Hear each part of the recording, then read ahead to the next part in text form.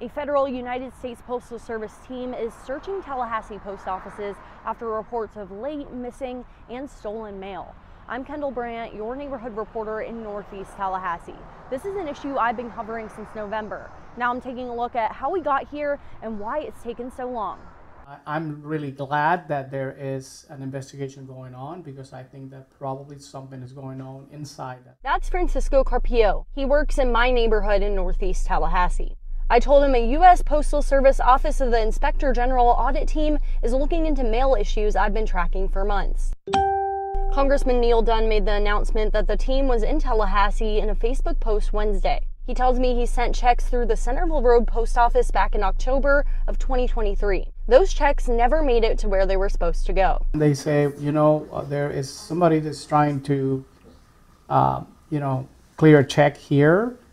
Uh, it seems that it's uh, been whitewashed and it's for $5,000. Have you authorized this? And I say, no.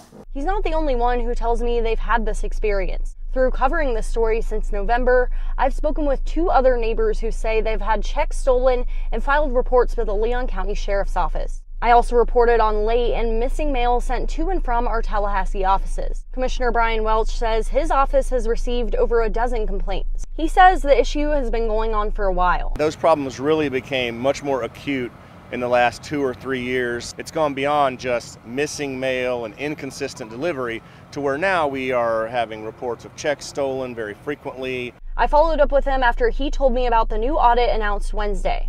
Do you have any idea why it's taken this long to get this team in Tallahassee? You know, it's difficult, I think, to get an inspector general's team to commit to coming into a market and actually doing a thorough investigation to see what the problems are.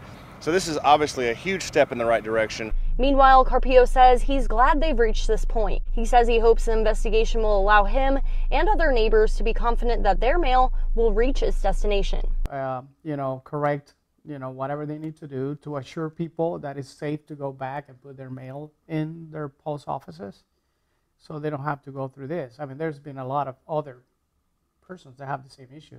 Dunn's office says that team will take about three to four months to come back with a report of what they found during their searches of these Tallahassee post offices. And if you have any issues with your mail service or any other service, I want to hear about it. Contact me at the information you see on your screen. In Northeast Tallahassee, Kendall Brandt, ABC 27.